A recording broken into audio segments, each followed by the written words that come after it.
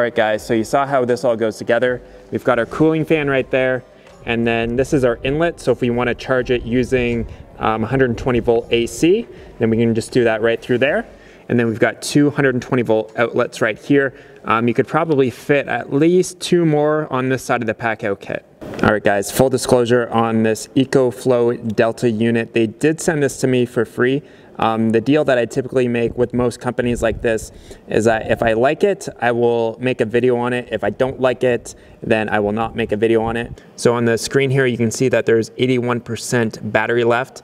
This here says 99 hours right now because there's nothing plugged in. But if you plug something in, it'll basically kind of estimate how much battery power that you have in terms of minutes and hours left. And then on the right here, it says input and output. So you'll basically be able to see how many input watts that are coming into it. If you have a solar panel hooked up to it, or if you're plugging into the wall, or your car charger. Below is the output so you can see how many watts are being put out of the unit when you have something plugged into it. So they've got two USB-A outlets and then they've also got some fast charge USB outlets and then also some USB-C outlets. So on this side here you can fit up to six AC outlets and if you wanted to run something off of a car outlet then you just plug it in right there. So we'll go over charging this unit in a second, but you just basically plug in a cord right into there for your AC. And then for either the solar panel or the car charger, so if you're gonna plug it directly into your car to charge it, then you plug it right into there. And that is a XT-60 outlet. So like you saw in the intro videos, you can use something like a Sawzall so if you've got a lot of cordless tools, you can just plug right into this and charge your cordless tools uh, pretty well anywhere that you go. Now I have tested this unit out with a 15 amp miter saw, um, which is well within the output capacity, 1800 watts of this unit, as well as this 15 amp chop saw. But when we start it up, this is what happens.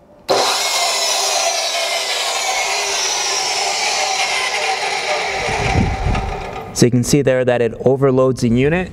And the reason why that happens is that the inrush current of the saw when the motor's starting up is greater than the surge capacity of this. So the surge is up to 3,300 watts. And one way that you'd be able to mitigate this is that you'd either need to wire up a soft start into the motor of this, or there are some units that I've seen that actually plug into an AC outlet like this. You could plug in this chop saw, a miter saw, a planer right into the side of the unit there uh, with the soft start and that should prevent this from happening. So I'm definitely new to some of these portable battery generators. Um, I've just got this plugged into the wall right now over there. And you can see that at 82%, it's still gonna only take about 30 minutes to charge this to 100%. So you can see that there's about 680 watts uh, coming into the unit. So if you were to compare this to the Goal Zero Yeti uh, 1400, um, if you had that plugged in with our wall charger, it would take 25 hours to charge from 0% all the way up to 100%. If this unit was at 0%, it would take about 1.7 hours to charge from zero all the way up to 100. With a unit like this and why it works well with something like a pack out unit is that there's no gas, there's no emissions, there's no maintenance, there's none of that kind of bullshit with it. It's actually quite light. It's about 30 pounds, um, so it's lighter than most generators. And I think the goal, the Goal Zero Yeti is 43 pounds, so it's 13 pounds lighter as well. This one is $600 cheaper uh, compared to its competitor. So the unit has 1260 watt hours of storage, otherwise known as 1.26 kilowatt hours worth of storage. So if you had something that runs on a thousand watts, you could run it for about an hour and 15 minutes. Um, so in more layman terms, if you wanted to run like a standard refrigerator, um, you'd be able to run it for about 10 to 20 hours. Um, if you wanted to use a 1500 watt frying pan or maybe an Instant Pot or a toaster oven, um, you'd probably be able to run it for about an hour or maybe a little bit more than that. So where this unit really starts to become cool is that you can certainly charge it right off of a solar panel here. So it just comes with an adapter, so you can use any standard solar panels and it just hooks into these MC4 connectors right here. And then that just plugs right into the unit right there. So this is just a standard 305 watt panel. So you can see we're bringing in right around 270 watts and it's saying that's gonna be fully charged in one hour. If this was at 0% and you had 400 watts of solar panels going into it, it would charge up in about four, four and a half hours.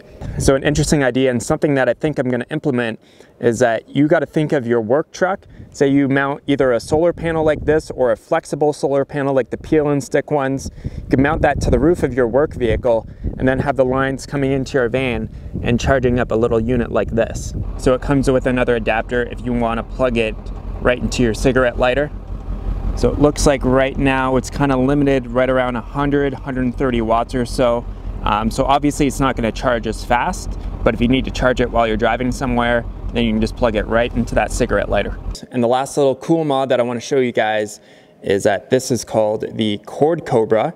So these products are actually designed by a young entrepreneur. He's 23 years old. He's a mechanical engineer and he's got into basically just fully started going full time with doing these 3D printed mods for the packout system. So his company name is Packible Tool. There will be links to everything down in the description box below.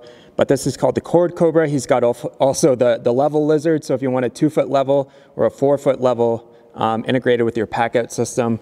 Then he's got lots of really cool little mods like this. So this holds an extension cord, which is really perfect for a portable battery generator. And just keep in mind guys that a lot of the links in the description box and in the comment section, those are affiliate links. So I do earn a bit of a commission on it, but it helps me do cool projects like this so that I can show you guys hopefully how to do things right the first time instead of you having to spend money and waste money. Awesome guys, thanks so much for watching. We'll catch you on the next video. We'll keep going with the house build, so make sure you're subscribed to my channel if you're not so that you can stay in touch with that. And we'll catch you guys on the next video. Talk to you soon.